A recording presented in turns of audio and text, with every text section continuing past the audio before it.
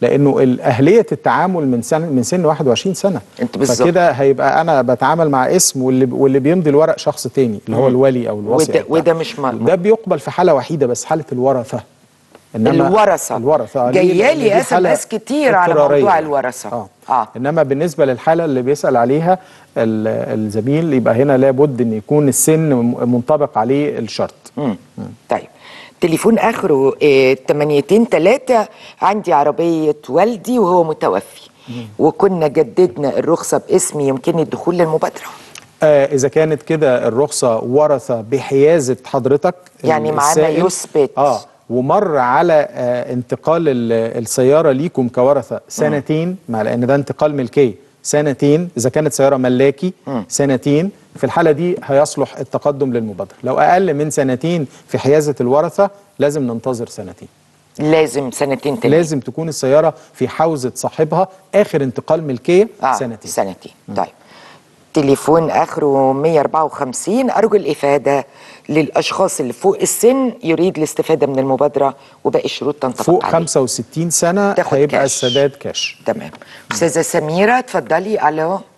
السلام عليكم ورحمة الله عليكم وبركاته السلام ورحمة الله. وبركاته اتفضلي من. فضلك آه، أنا زوجي توفى من حوالي خمس شهور.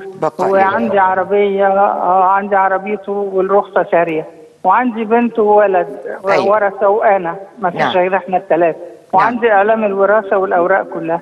فبنتي عايزة تخرج العربية وتدخل في المبادرة تمام. تحويل السيارة آه نعم. فعشان شرط إن هي لازم يبقى سنتين رخصة باسمها طب ما هي ما هي أبوها توفى وإحنا اللي وارثين السيارة وهنمضي لها إن إحنا موافقين عليها حالا أستاذ أحمد رأيي هيرد إيه.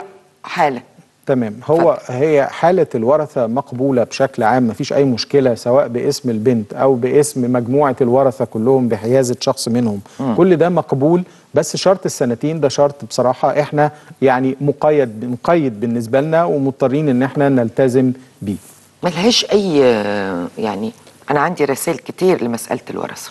عرضنا ده في الحقيقة لكن بيبقى فيه اعتبارات كتيرة آه، وزارة الداخلية الإدارة العامة للمرور آه، بت بت بتقدمها لنا. لابد إن إحنا نلتزم بيها لأنه آه، رقم واحد من ضمن أعداد السيارات. يعني إحنا عندنا مليون وربعمائة ألف سيارة.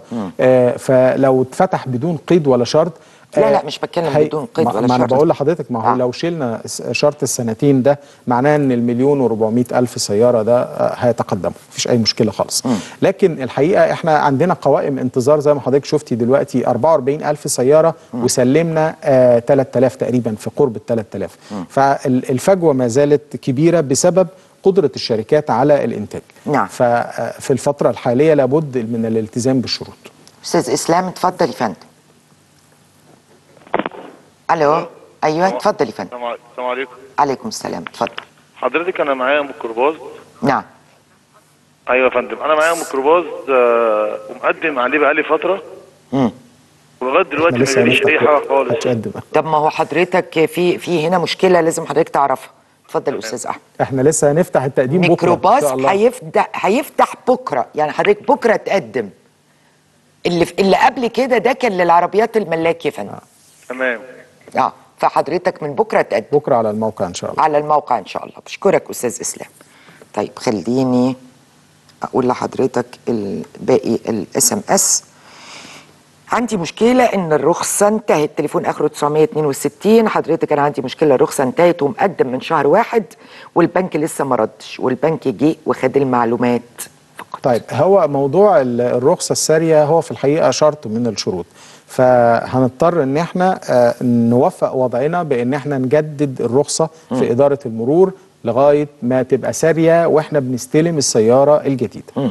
طيب تليفون آخره 758 بيقول لحضرتك عندي تاكسي موديل 2009 لكن مستهلك تماما يدفع أدخل المبادرة؟ لا المبادرة بت- بتقبل من 2001 طيب ماذا عن التوك توك؟ تليفون آخره 86 ما فيش إحلال حاليا للتوك توك آه. آه. التوك توك دلوقتي في سبيله إلى تقنين وضعه بالترخيص وده بالتنسيق بيتم بالتنسيق بين وزارة الداخلية والتنمية المحلية يعني يترخص اولا يبقى له رخصة اولا عددهم كبير جدا على مستوى الجمهورية وبالتالي هياخد وقت شوية لغاية ما يتم اللي. هي دي, دي مبادرة حاجة تانية اللي هي آه حاجة موازية مسألة تاخد ياخد تقنين أوضاع. ياخد آه، بالظبط. التقنين أوضاع. تقنين اوضاعه م- مبدئيا وبعد كده بعد تقنين الأوضاع آه، ي- ممكن يتاح له الإحلال من خلال المبادرة.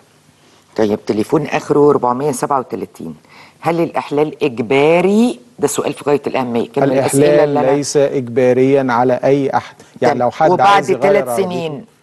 هل هيبقى فيه تجديد رخصة ولا لأ؟ بيتكلم في عربية الموديل بتاع 77 وحالتها جيدة. الراجل مش عايز يعمل إحلال. حقه. تمام خلاص يحتفظ بالعربية بتاعته ويجدد رخصتها في وقتها القانوني. مفيش أي مشكلة خالص. أيوة. إحنا ما زال عندنا قانون المرور لا يجبر الملاكي تحديدا. هو بيتكلم على الملاكي. أيوة. لا يجبر الملاكي على تغيير ال- ال- السيارة. خالص خالص. مش هيجي بعد كام سنة من المبادرة ويقول لك لا خلاص مش هنجدد الرخصه لا، يعني لازم إحنا- تدخل ال... ال... الكلام اللي أنا بقوله لحضرتك ده موجود على ال social media آه. فأنا يهمني إن أنا أرد عليه. عليهم إحنا آه. عندنا صفحة على فيسبوك وكل المتقدمين وغير المتقدمين بيسألونا وبنرد عليهم إن ليس هناك أي إجبار على صاحب السيارة الملاكي تحديدا لأن الميكروباص والأجرة مطلوب إذا مر عليها 20 سنة إن هي تستبدل. طيب.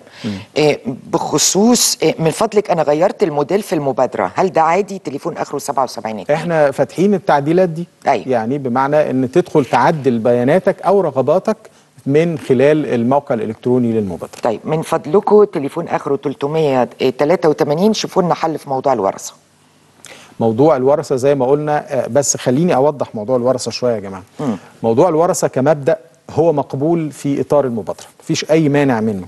لكن لابد أن تنطبق عليه شروط المبادرة. إيه هي؟ رقم واحد إن السيارة تكون في حوزة الورثة بقالها سنتين. كل ال- ال- اللي أقل من سنتين مش هنقدر نقبله دلوقتي. ينتظر بس السنتين ويدخل. المبادرة ما زالت مستمرة مدتها ثلاث سنوات. يبقى إذا ممكن يدخل. رقم اتنين لما تكون السيارة بحوزة واحد من الورثة وهو أقل من السن من 21 يبقى ده برضو شرط غير مستوفى. ما عدا ذلك كل ده مقبول مفيش أي مانع خالص. وعندنا حالات تم استلام ال- السيارات بتاعتهم يعني وهم ورثة. فمفيش مشكلة إن شاء الله.